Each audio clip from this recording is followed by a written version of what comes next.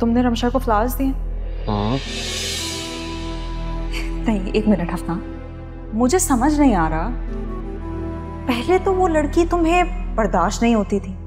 उसकी शक्ल देखना गवारा नहीं होता था तुम्हें।